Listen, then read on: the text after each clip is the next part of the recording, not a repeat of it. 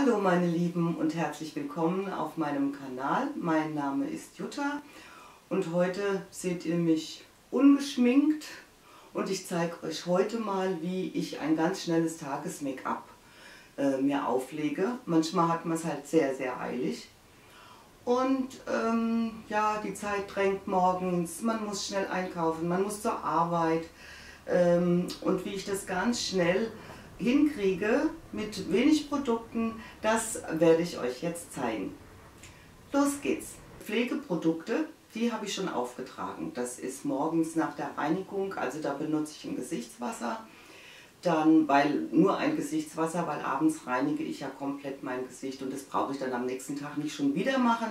Also mache ich es so, ich nehme mein Gesichtswasser, reinige mein Gesicht, ich trage eine äh, äh ein Serum, ein Feuchtigkeitsserum auf mit äh, Hyaluronsäure, benutze eine Tagescreme und lasse das alles jetzt schön einziehen. Das sollte so, ja, 20 Minuten sollte man der Haut schon geben, ähm, bis es eingezogen ist. Und dann starten wir jetzt mit dem kleinen Tages-Make-up. Und zwar meine Haut ist so ein bisschen gerötet und un, ja, ungleichmäßig. Ne? Und ich, ein bisschen fleckig, Rötungen habe ich hier an den Wangen und hier. Deswegen äh, nehme ich hier immer als Primer den äh, von Trended Up. Der ist aus der Drogerie, den finde ich richtig toll. Das ist der Expert Anti-Red Base. Den trage ich auf. Gerade und ich mache das aufs ganze Gesicht, weil er verfeinert auch die Ohren und gibt so ein samtiges, feines Hautbild. Ja. So. Das habe ich aufgetragen. So.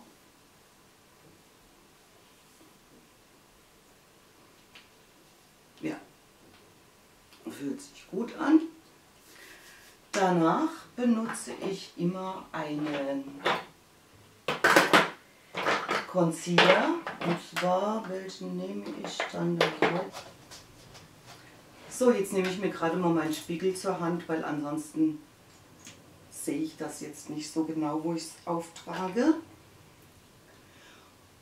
Also ganz flott hier unter den Augen, hier dann in diese Nasolabialfalten, die man ja hat, wenn man älter wird, prägen die sich immer mehr aus. So und nicht vergessen in die Augenwinkel ein bisschen über die Lippen. So.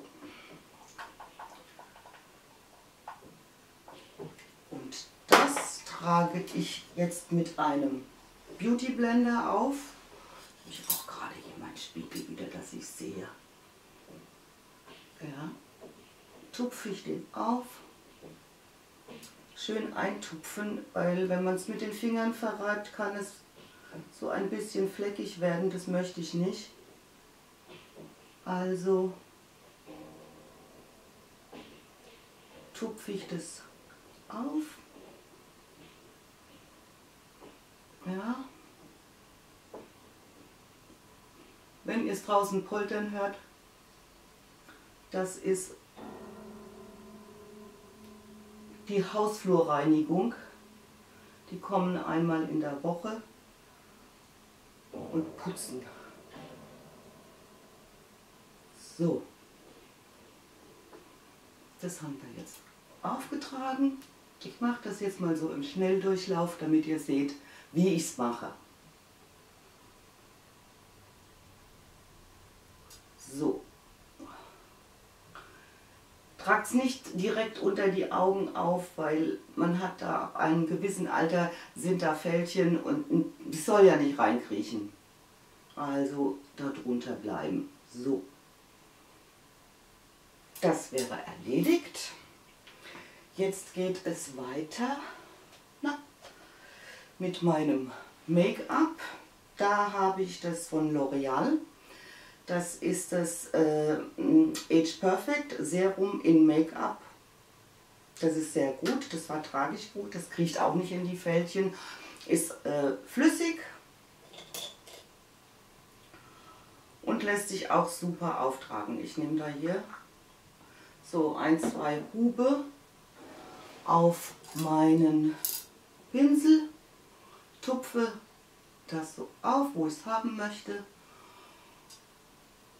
und trage das jetzt auf. Ich habe mich etwas in der Farbe verkauft, muss ich ehrlich sagen. Es ist sehr, sehr hell, aber ich nutze es jetzt weiter, bis es aufgebraucht ist, weil die Konsistenz ist wirklich klasse. Die verschmilzt praktisch richtig mit der Haut. Ja, hier noch schön in den oben Haaransatz. So, hier. Also es deckt sehr gut, ja,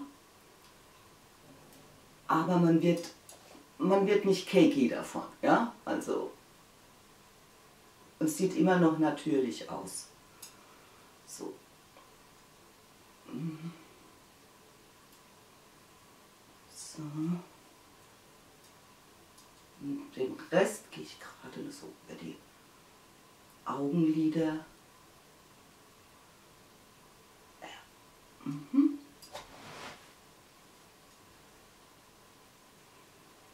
So, wenn ich ab und zu mal da neben schaue, dann schaue ich in meinen Monitor, ob ich auch noch gut zu sehen bin. So, das sieht schon mal gut aus.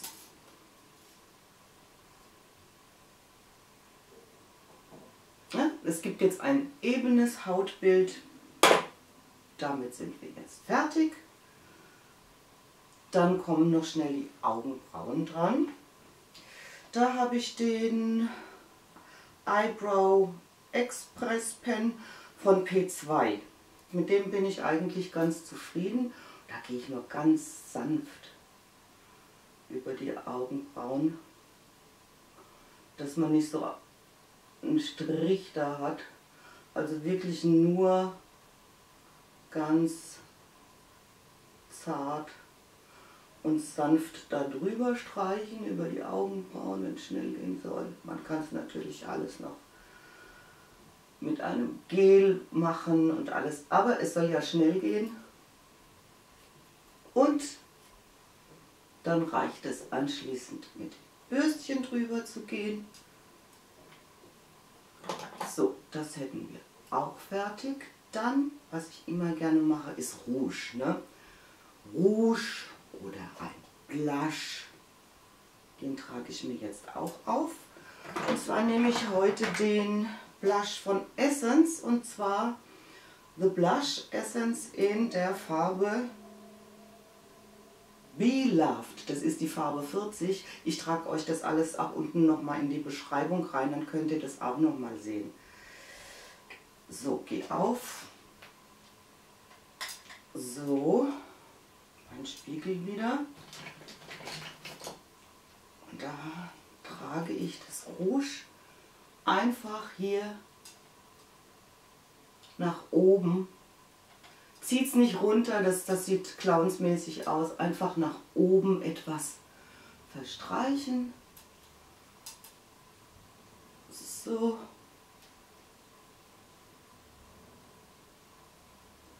So. Ein bisschen auf die Nasenspitze. Ein bisschen hier oben noch auf die Stirn, dass es ein bisschen eingerahmt ist. So, ein bisschen das Kinn. Ja, ich denke, das sieht doch schon ganz gut aus. Oder? Was meint ihr? Ach, übrigens, wenn euch meine Videos gefallen, dann würde ich mich sehr, sehr freuen, wenn ihr mir Daumen hoch gebt oder wenn ihr mir einen Kommentar hinterlasst. Also das würde mir schon sehr helfen, weil es ist jetzt mein zweites Video und es ist mit Sicherheit auch nicht perfekt. Aber ich würde mich freuen, ähm, wenn ihr mir einen Daumen hoch gebt. Und vielleicht habt ihr sogar Lust, mich zu abonnieren. Ja, also ich würde mich freuen. So, aber jetzt weiter. So. Das wäre dann soweit. Da werden wir jetzt auch fertig. Dann werde ich mir noch die Augenlider etwas betonen. Und zwar, ich habe Schlupflider. Und da gehe ich immer mit einem hellen Lidschatten auf das bewegliche Lid. Und zwar habe ich jetzt hier von Essence auch wieder The Nude Edition, diese Eyeshadow Palette. Die sieht schon ein bisschen mitgenommen aus, aber ich trage das am liebsten mit den Fingern auf. Ich nehme wieder den Spiegel hier, sonst sehe ich das nicht. Und gebe das einfach auf das Augenlid.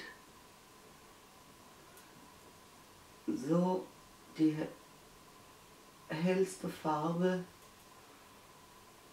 mit den Fingern, das geht schnell. Das kann man ganz schnell machen. Gehe da sogar bis an die Augenbrauen. So. Und um das Auge noch so ein bisschen größer zu machen, nehme ich hier die Farbe, seht ihr es, hier braun und tupfe mir das hier hinten ans Ende des Augenlids auf.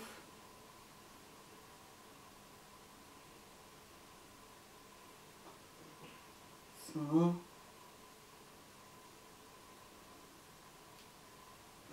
Verblende das Ganze hier mit meinem Blenderpinsel.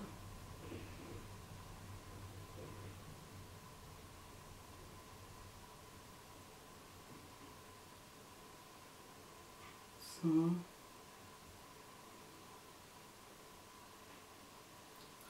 Gehe noch etwas mit einer helleren Farbe ins die Mitte, in die Banane, also über dem Augenlid. Mit einer etwas dunkleren Farbe. So.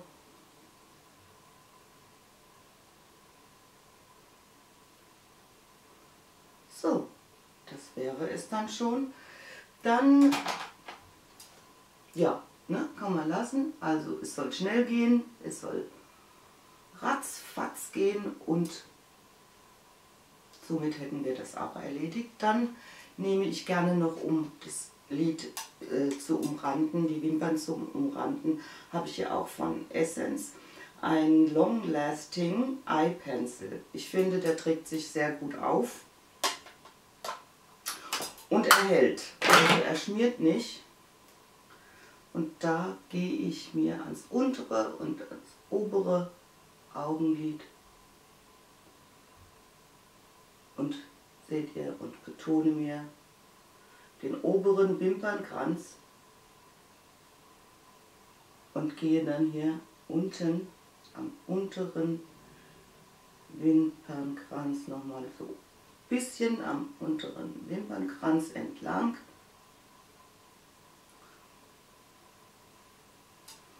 So, das hätten wir auch. Ich schreibe euch alles unten in die Beschreibung, was ich benutzt habe. So, dann hätten wir das schon mal. Dann brauchen wir jetzt noch ein bisschen Wimperntusche. Da bin ich ganz zufrieden. Und zwar ist das äh, von L'Oreal die Wimperntusche Extra Black Mascara. Und zwar die Bambi Eye Fail Slash. Verlängert etwas die Wimpern und macht sie etwas dichter. Ich habe so kurze Wimpern, ach, das, das ist wirklich immer ein Gräuel, aber diese Mascara macht ganz, schön, ganz schöne Wimpern, auch meine kurzen die man sonst gar nicht sieht, kann man damit eigentlich ganz gut tuschen. So, auch nicht viel, es ist ein ganz schnelles Tages-Make-up.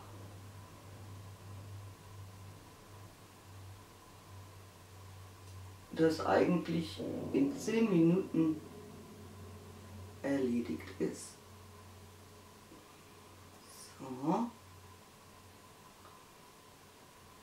So. Jetzt machen den unteren, unteren Wimpern noch ein wenig. Also ich bewundere ja immer die, die, die Frauen, die, huch, jetzt gepatzt, weg. Ich bewundere ja immer die Frauen, die so schöne lange Wimpern haben. Oh Gott, ich habe mir schon so oft überlegt, ob ich mir die Wimpern verlängern lasse. Aber irgendwie bin ich immer noch nicht dazu gekommen oder ich hatte noch nicht die richtige Motivation. Aber vielleicht mache ich es ja doch noch mal irgendwann. So, so, wir haben jetzt Make-up aufgelegt, wir haben etwas Rouge aufgelegt, wir haben die Augen ganz, ganz zart betont, wir haben die Wimpern getuscht und jetzt kommt ein Lippenstift. Was heißt ein Lippenstift? Dann nehme ich sehr gerne von Maybelline New York und zwar dieser haltbare Lippenstift. Und zwar das ist Matt Ink. Ja, also der hält super. Der hält auch mal ein Essen aus.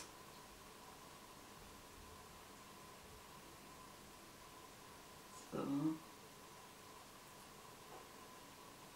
Tut mir leid, wenn ich hier immer in den Spiegel gucken muss, aber ich sehe es sonst nicht.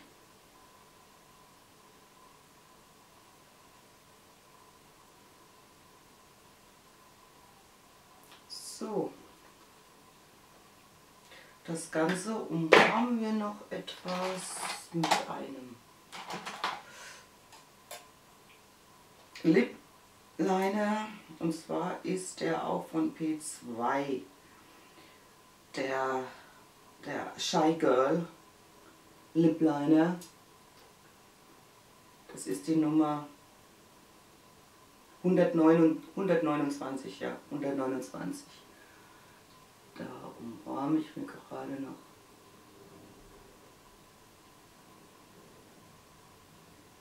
ein wenig die Lippen.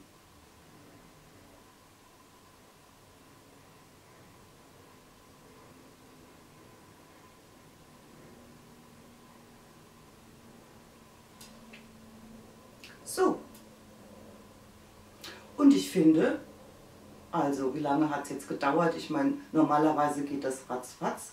Wenn man die ganzen Produkte da hat, dann einfach schnell, schnell, schnell. Das dauert vielleicht 10 Minuten. 10 Minuten. Jetzt noch ein bisschen die Haare machen. Ja, und dann sind wir fertig für den Tag. Ja, also ich hoffe, es hat euch gefallen. Und ich bedanke mich fürs Zuschauen erstmal. Aber wir sehen uns dann nochmal, wenn ich meine Haare ein bisschen gerichtet habe. Bis gleich. So, die Haare sind gerichtet ein wenig. Und jetzt kann der Tag beginnen. Ja, also ich danke euch ganz, ganz herzlich fürs Zuschauen und wünsche euch noch einen wunderschönen Tag. Es ist draußen, ja, es ist bewölkt, aber es ist nicht kalt. Macht irgendwas draußen und äh, lasst es euch gut gehen. Bis später und zum nächsten Video. Ich danke euch. Tschüss, eure Jutta.